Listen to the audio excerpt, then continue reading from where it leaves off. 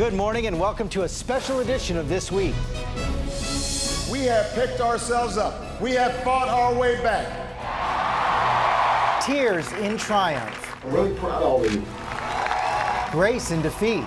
I pray that the president will be successful in guiding our nation. And a shocking resignation. This news is truly stunning. Did CIA Director David Petraeus' extramarital affair compromise classified intelligence? How will his departure scramble the president's national security team? And with Washington still divided after Tuesday's election, can the president and Congress find common ground on the fiscal cliff, immigration, and other big issues? We'll ask our headliners the vice chair of the Senate Intelligence Committee, Republican Saxby Chambliss, and the senator responsible for adding to the Democrats' majority, campaign chair Patty Murray. Plus, analysis and debate of all the election fallout on our Powerhouse Roundtable with Representatives Donna Edwards and Aaron Schock, Paul Gigot of the Wall Street Journal, Katrina vanden Heuvel of The Nation, and Greta Van Susteren of Fox News. From ABC News, This Week with George Stephanopoulos. Reporting from ABC News headquarters, George Stephanopoulos.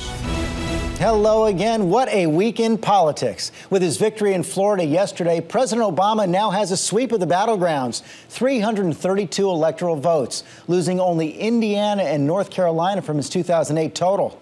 The popular votes are still coming in, and the president will come up about 8 million short of his 2008 tally, but he's holding about a 3 million vote margin over Mitt Romney.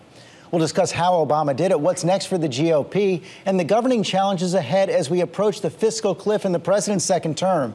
But first, that Friday afternoon bombshell. David Petraeus resigns at the CIA after the FBI uncovers his extramarital affair. ABC senior justice correspondent is here with the latest, Pierre Thomas. And Pierre, we've learned that the FBI first came upon this several months yes, ago. Yes, George, this sad, sordid fall from grace came to light after a woman in the Tampa area who is tied to the military got a peculiar, harassing email. The woman was so concerned she contacted the FBI, who then, according to our sources, traced the email back to Paula Broadwell, who had written a book about Petraeus. Our sources say as the FBI continued to investigate, they discovered emails pointing to a romantic sexual relationship between the two. There were early concerns about the potential for the general secure government emails being hacked, but the investigation never turned up evidence of national security being compromised.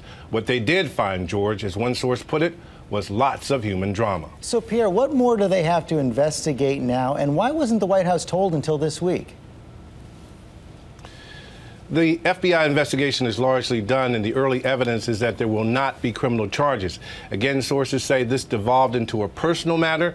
The FBI informed senior intelligence officials last week, who later told the White House Petraeus had been confronted in the last couple of weeks. As for the timing of the disclosure, one official said that's just how it play, played out, George. Okay, Pierre Thomas, thanks very much.